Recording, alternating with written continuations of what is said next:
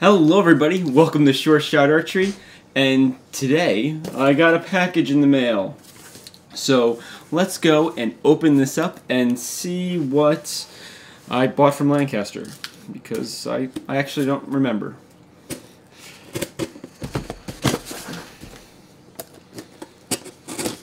Ah. As I murder the poor box. Alright, and... Aha! Yes! I'm very excited about this. I picked up the uh, ooh, Curve RXF from uh, Axcel, Ball Axcel. And uh, this is the one that Sjef uh, endorses and uses at his World Cup events. So I'm going to be uh, trying it out. It was actually a recommendation from my coach, uh, Sung Woo. He uh, runs SW Archery. Really awesome guy.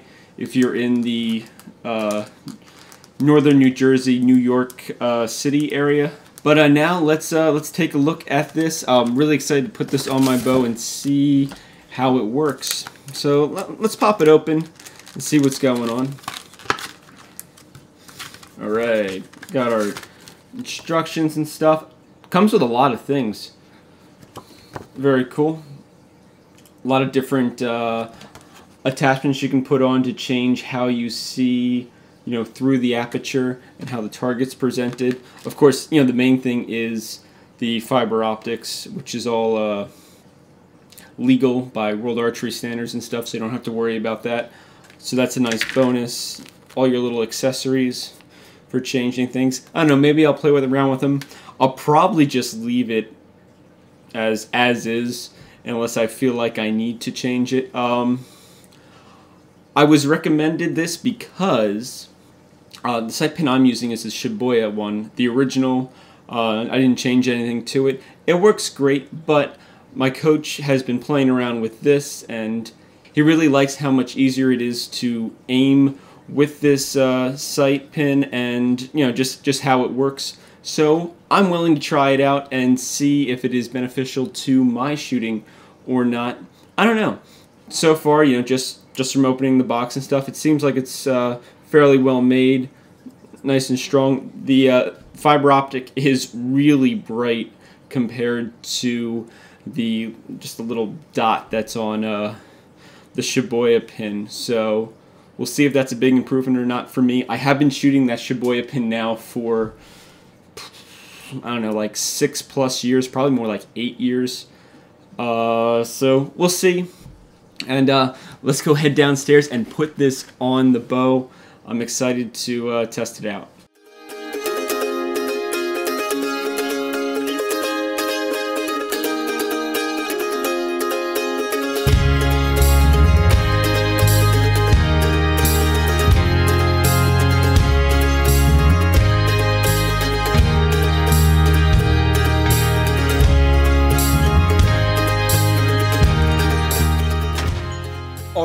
So I got my shooting gear, I got the new sight pin, uh, the bow's already out at the shooting shack, so we just gotta install this and then we can start shooting some arrows. This is gonna be awesome.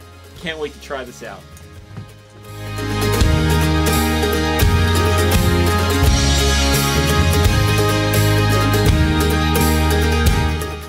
And we made it to the shooting shack. Time to install the curve.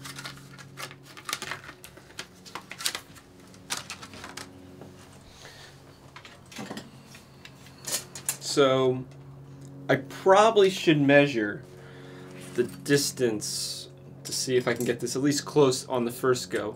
Of course, I'll probably shoot my first couple shots at blank bale just to get an idea, or a close distance to get an idea on where we're at, and then we'll just we'll jump right into 70. Okay, so we're about 40 centimeters from the middle.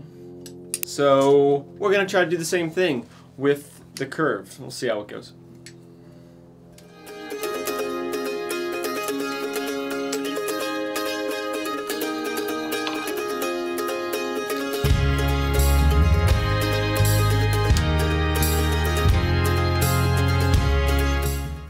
Real quick though, before I uh, reinstall everything, uh, just so that you guys can see the difference on, you know, what I'm going to see, the change. So, We got the old and the new here. Uh, I think I think there's going to be a, a, good difference. Maybe it's not super noticeable uh, right away.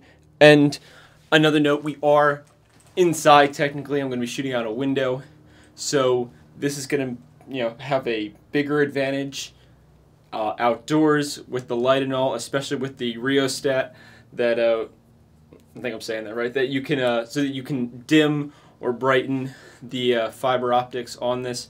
So you can't do that with with the Shibuya one. So I will see how that goes too. But uh, let's get this on the bow.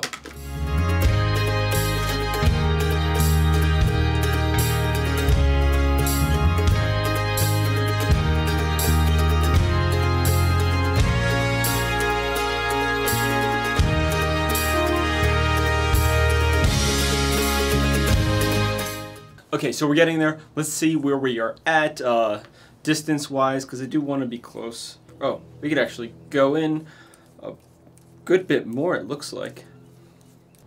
Okay, so it looks like now I am pretty much lined up with the same measurements as my old sight. So I just took it from where the beginning of the sight block was and then just measured to the center of the pin on the old one got my 40 centimeters, and I just did the same thing with uh, this sight. So it should be pretty spot on. Maybe a little bit of right and left movement, but nothing that I'm going to be overly concerned about, like I'm going to hit the target. So now, let's get back to the most fun part of this, and that is shooting some arrows with this and see how it goes.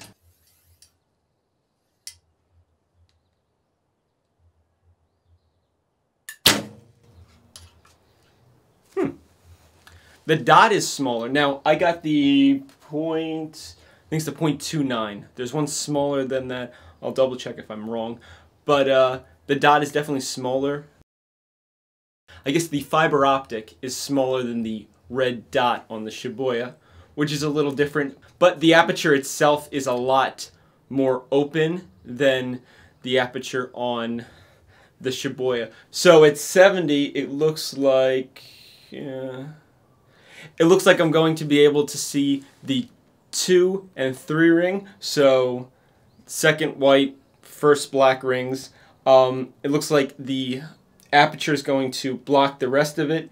And that sight pin is going to be pretty small. It's pretty much just going to cover up the, the 10 ring down there, maybe a little bit smaller than that. So that should be fun when we switch to 70 after a few more arrows here at, uh, you know, about blank bale. Maybe a little, it's a little bit further than blank bale. So uh, let's see how that goes. All right, so I've shot a few down there. It's going pretty good. Very interesting with this being so dark in here and the sun being almost on the target down there. It's got some shade because of the roof I have on the target, but it's very bright outside and it's not super bright in here. Like I have sun coming from this this window I have here, but it's all it's very indirect. It's pretty much just bouncing off of it. So there's no real direct sunlight in here.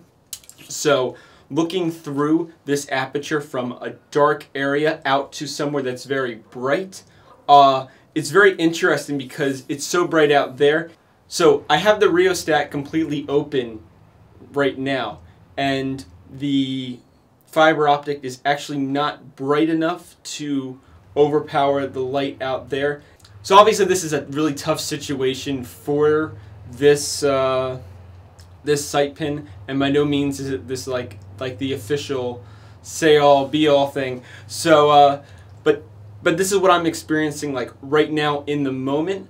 Um, I'm really interested when it gets a little warmer out. I'll try to move outdoors and I'll shoot outside at the 70 meter target outside. And I bet you this is really going to perform, perform phenomenally. Right now, when I get back and I'm, I'm on the gold. I actually don't see any red. The whole pin itself is just black, so I just put, you know, the black dot on the center.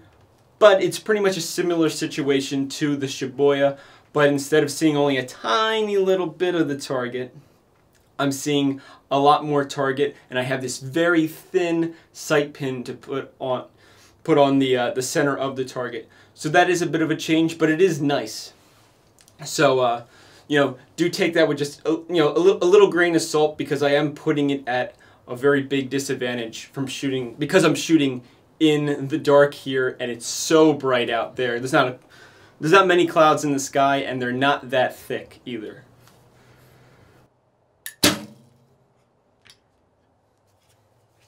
But it is going pretty good.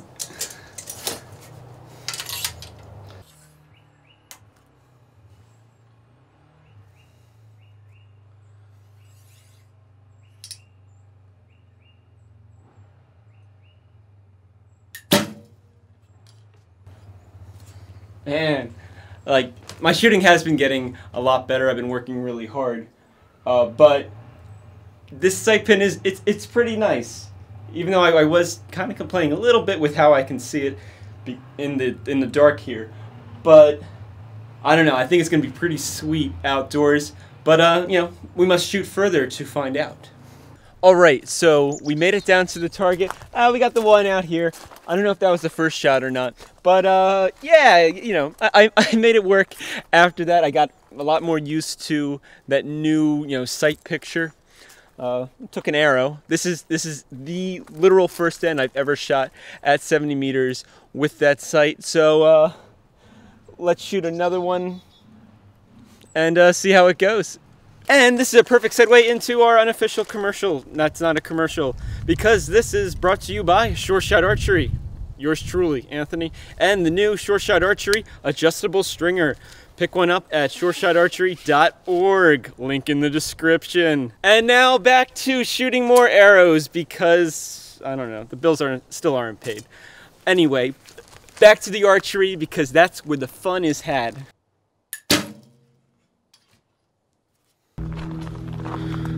Huh. Eh, not a bad end. I think the first six were a 58, so looking pretty sweet.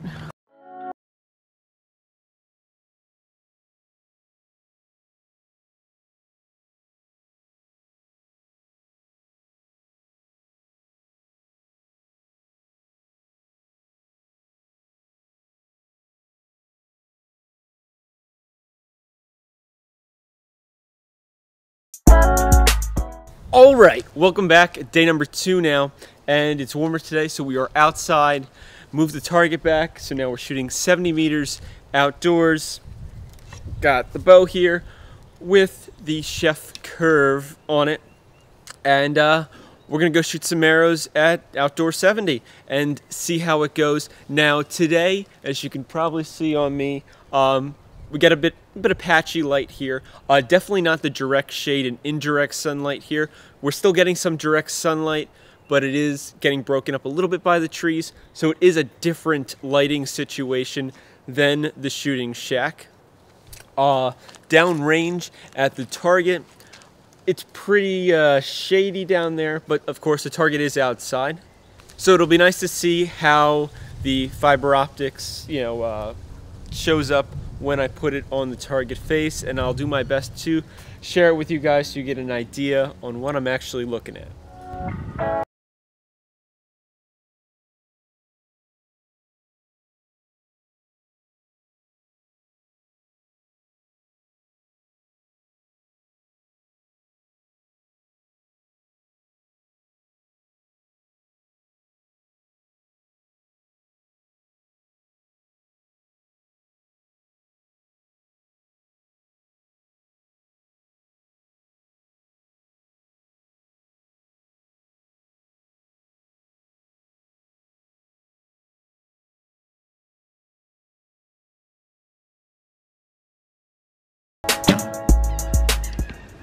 All right, so we just shot our first end. Uh, we got the first arrow here. And then this was the rest of the group. Uh, pretty nice sight picture the whole time. And uh, so far, pretty good result. We'll definitely shoot some more and uh, see how it goes. And of course, we're going to be shooting this for a long time in the future to see, you know, continued, you know, results and performance and things like that. But so far, looking pretty good.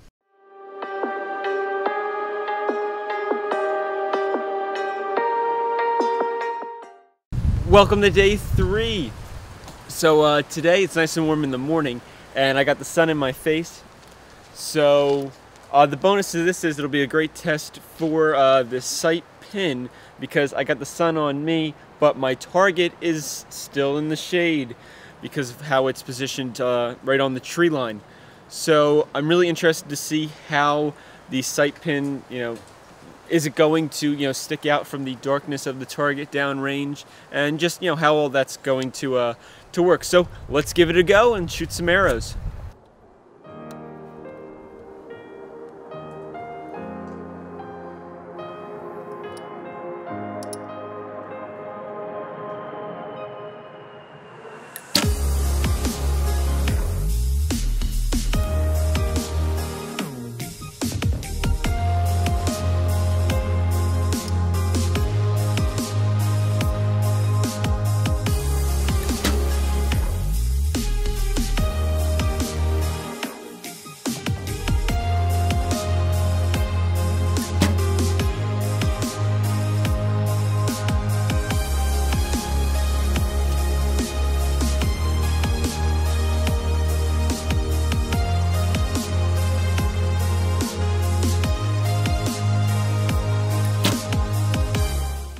One thing I really like about uh, this sight pin with you know the, the sun angle and stuff I got now with the sun in the front in my face and the, the target down there dark uh, this sight pin with the fiber optic it just it just sticks out so nicely on uh, that target face and I can see it really easy. Uh, that's something I wasn't getting before because everything with the other sight pin was kind of the same shade since it had no fiber optics. So, so far I am, I am liking this sight pin. I can't wait to shoot it for more than just like these first three days that I've shown you here. But uh, so far I'm impressed and I, I think it's, I think it's been a, a good value. I don't know if, if the more expensive one's really any better. Figured if Sjef's using this one, it's got to be definitely good enough for me because he, he still definitely outshoots me. Maybe I can give him some competition now with his own sight uh, pin. But uh, we'll see. Okay, so here is our result of shooting into the sun with the sight pin. Pretty good. Only I would say like you know two strays from the, the full group. Uh, you know that eight and that seven there. But overall, I, I'm really liking uh, you know how it's letting me aim through some of these really tough uh, lighting conditions. And, you know, of course, do I shoot every single end this great? No, but I am really happy with, with how it's going with this sight for switching it out so quick and then getting really solid results with it uh, pretty much right away, besides a little sight adjustments, you know, just to get into the center of the target.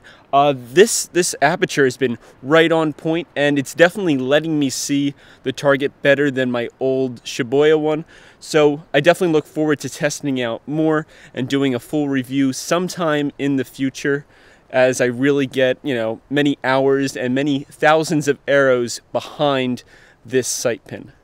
So uh, stay tuned for more videos. Hopefully you enjoyed watching this one and found it interesting. This is a hands-on test straight out of the box. And I'll catch you guys next time and happy shooting.